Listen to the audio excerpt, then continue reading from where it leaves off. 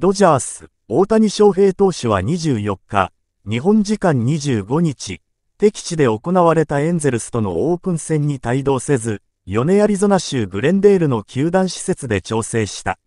練習中にも様々な表情を見せる大谷。この日撮影された1枚の写真がネット上で話題となっている。実際の写真、帽子を浮かせる大谷翔平。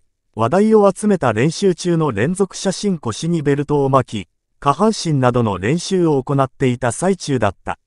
大谷は逆向きにかぶっていた帽子が煩わしくなったのか、グラウンドに放り投げた。帽子は回転がかかって、ふわりと浮きながら地面へ。この様子を切り取った写真が、魔法使いだ、帽子ウィートルで。とファンの間で大喜利状態だ。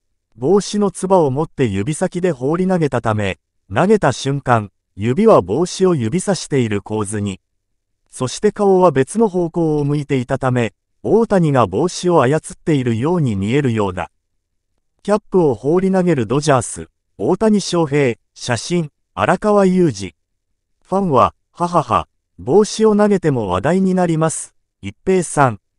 俺の帽子浮いてるんだけど、のずに見える、帽子を浮かせている大谷翔平。魔法使いになったんか、魔術師、またコラガに使えそうなやつ、と様々な反応を見せていた。